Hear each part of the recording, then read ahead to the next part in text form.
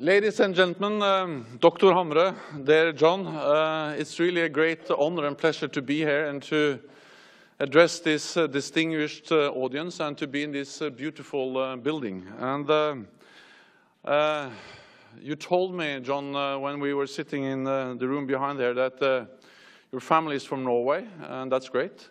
but you told me more than that. You told me that your family is from Voss and Granvin. And Voss and Granvin, that's uh, uh, perhaps the two most beautiful places in Norway at the west coast, at least Granvin.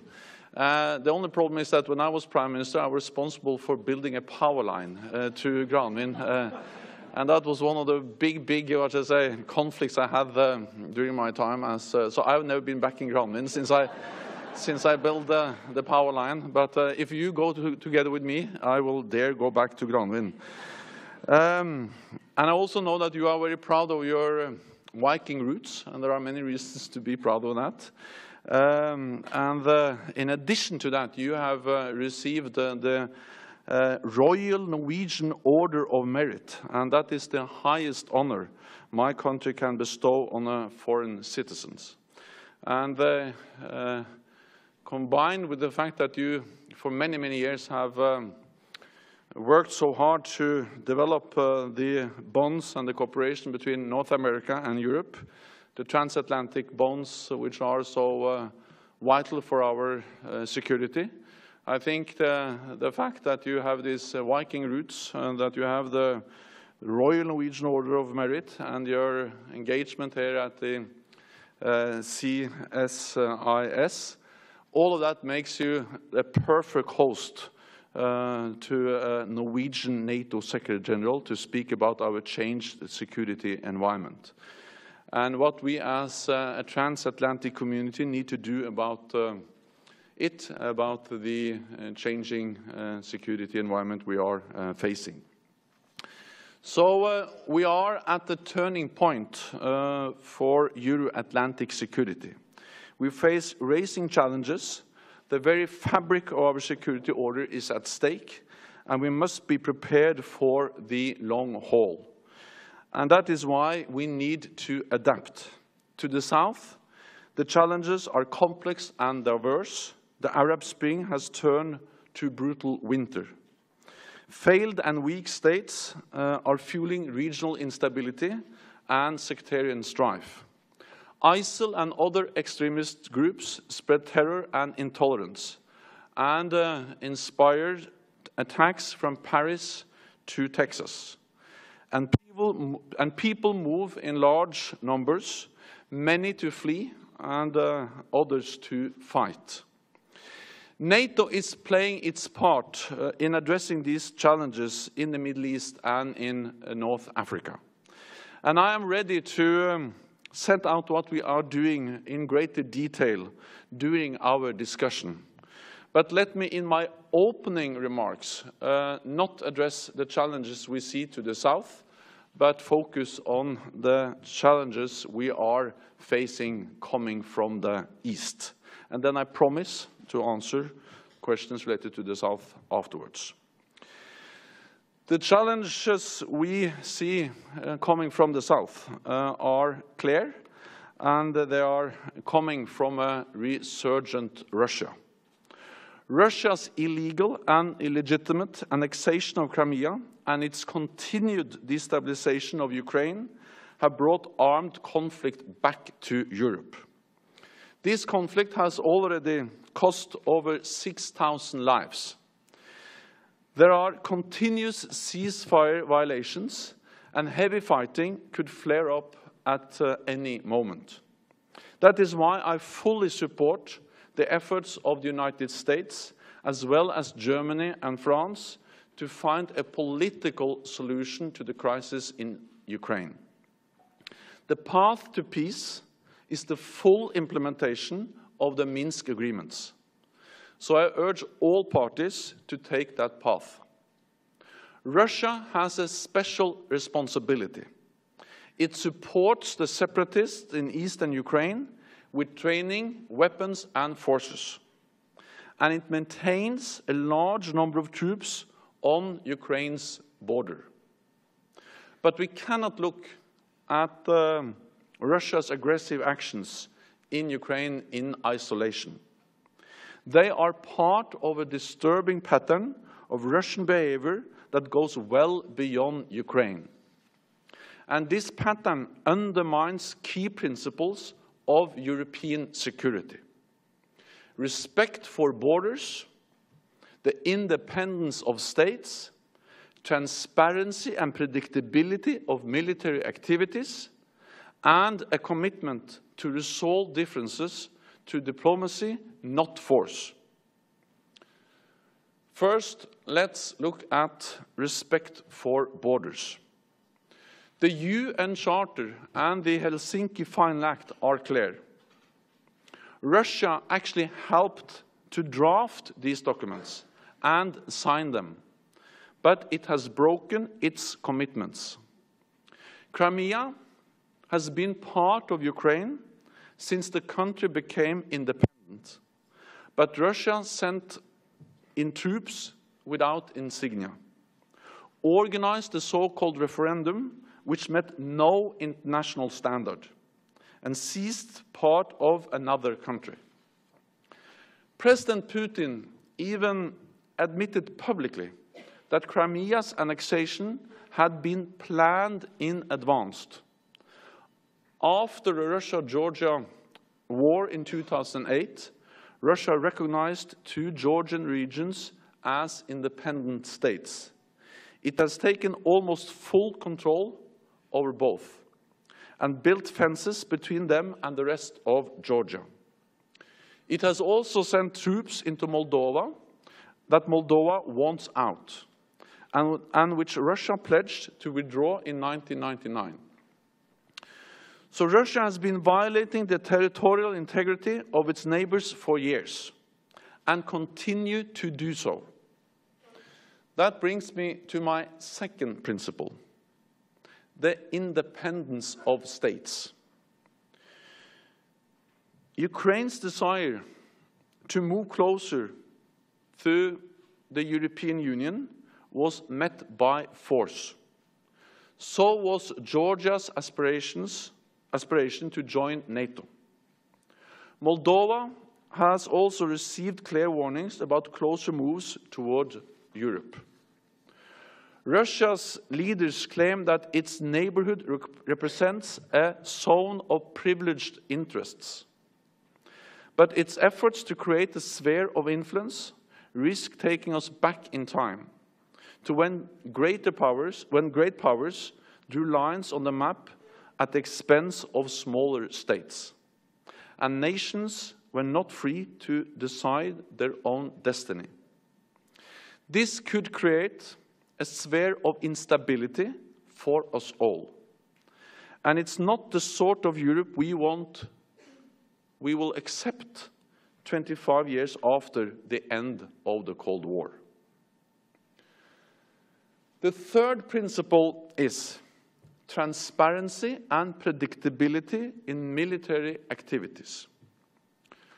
For decades, we, build, we built a stable European security system based on fewer forces, fewer weapons, and fewer large exercises, on more information sharing, and on arms control agreements to build trust and confidence across former dividing lines.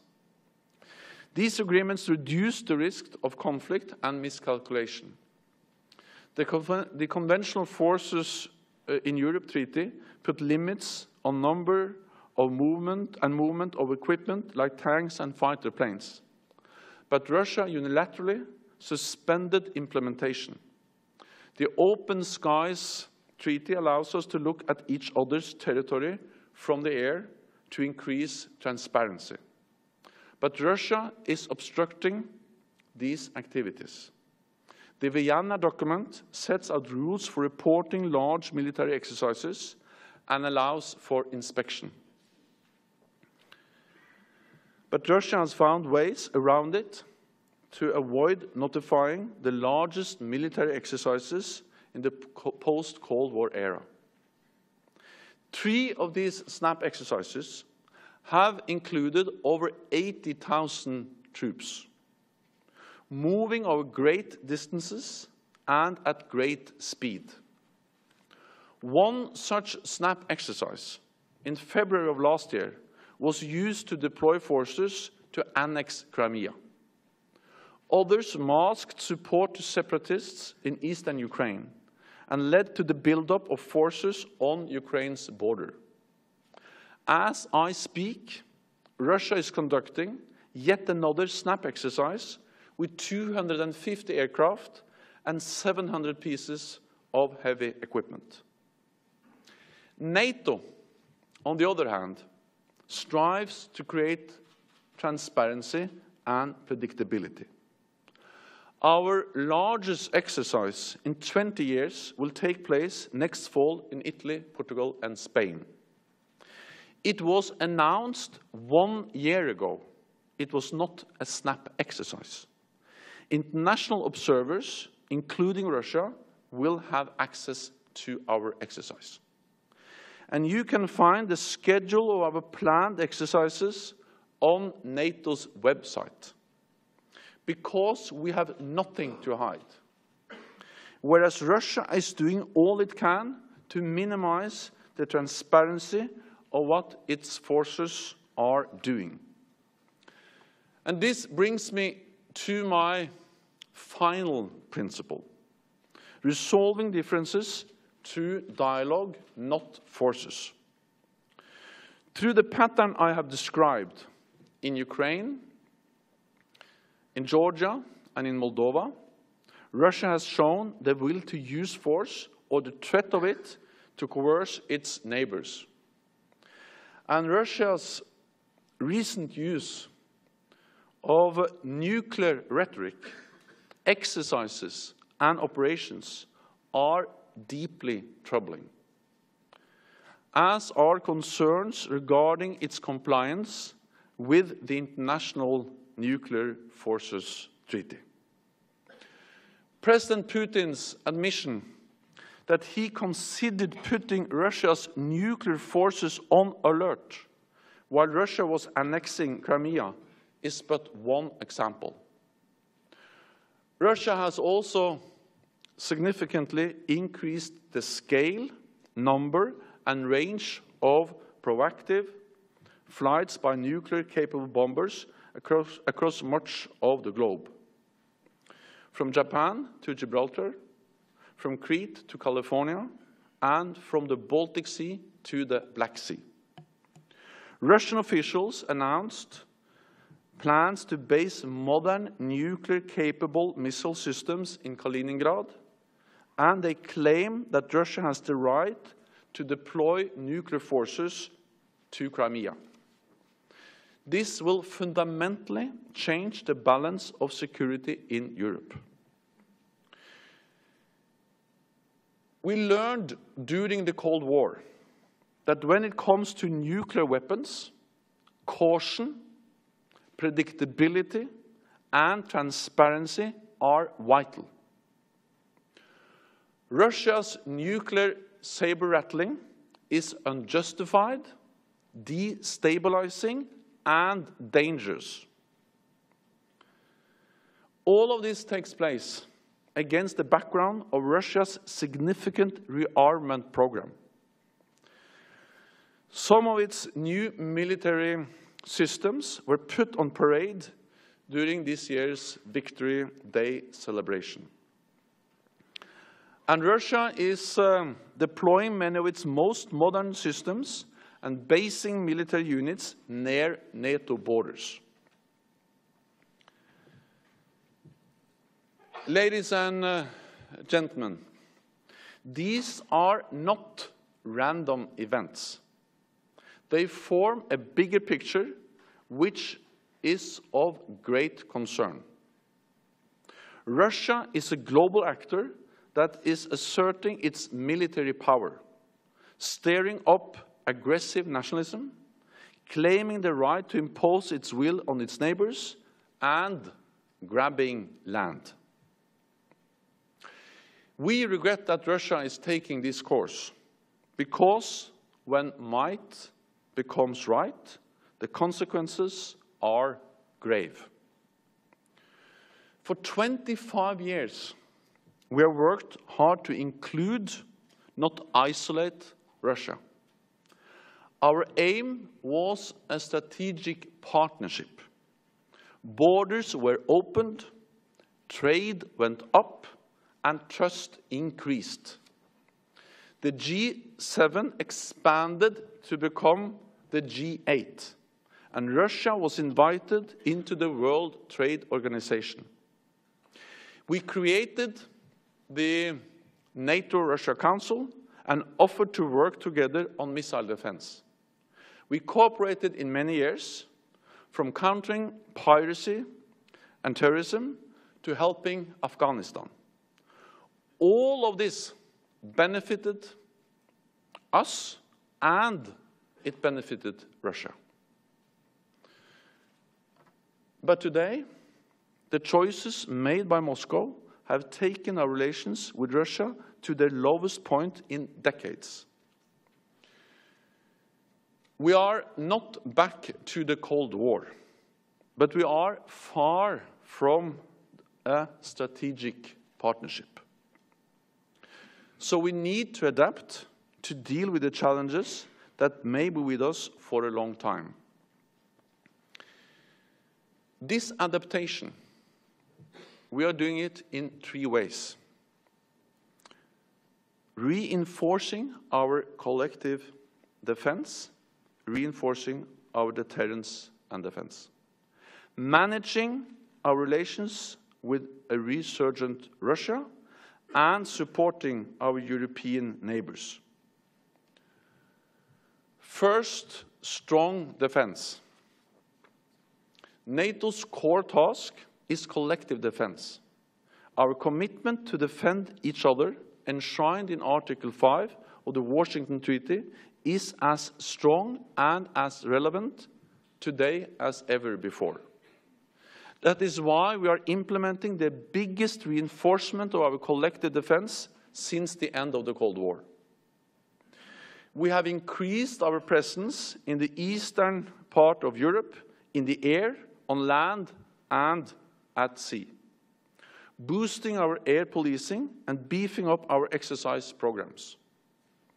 We are doubling the size of, NATO, of the NATO response force. Its centerpiece is the spearhead force with lead elements ready to move in as little as 48 hours.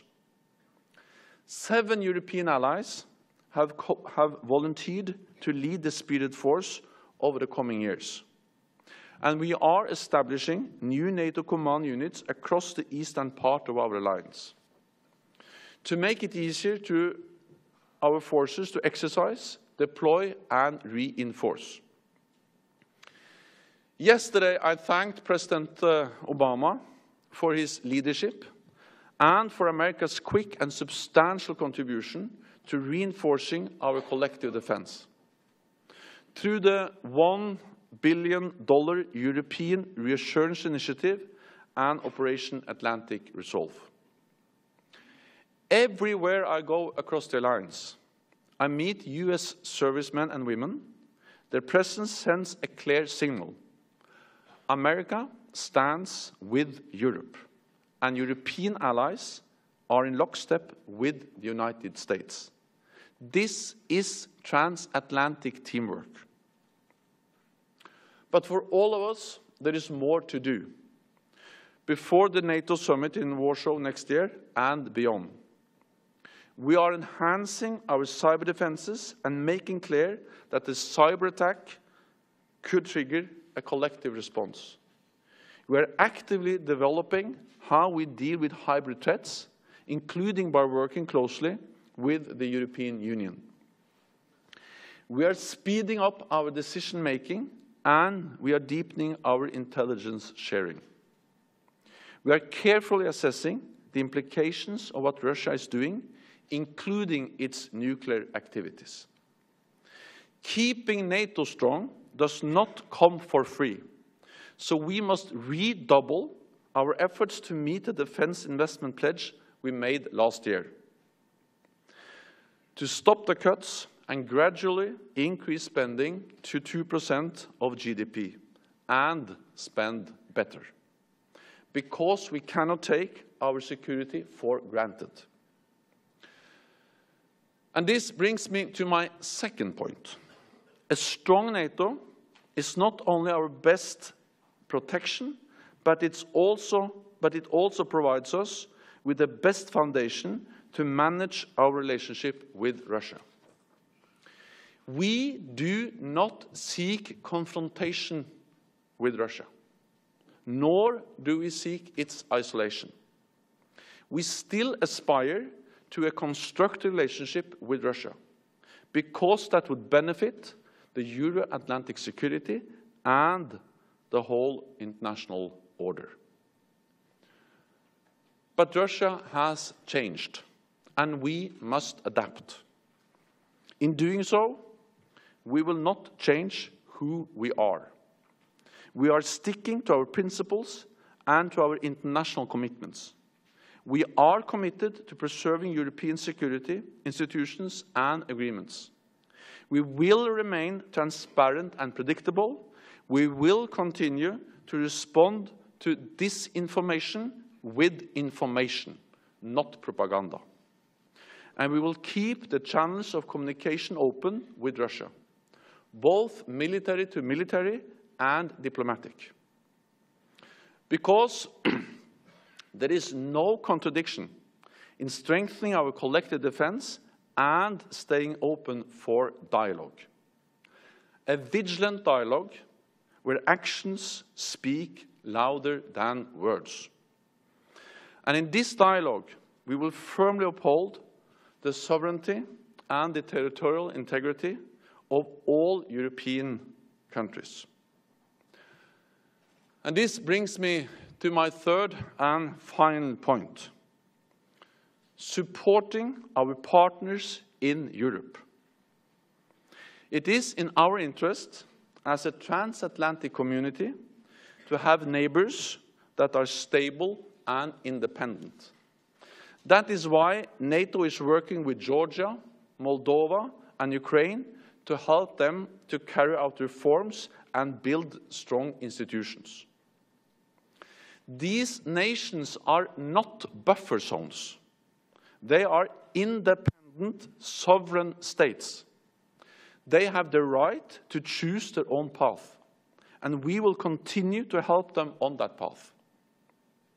Because if our neighbors are more stable, we are more secure. Ladies and gentlemen, for decades, as a transatlantic community, we have kept our peoples safe. We have erased divisions in Europe. We built a rules-based order which benefits us all. But as our challenges increase, we must adapt to ensure our security, to protect the values our open and democratic societies and to support our partners. This requires continued commitment and solidarity. The world is changing and we are changing. But one thing that will not change is our determination to stay and stand united. Thank you.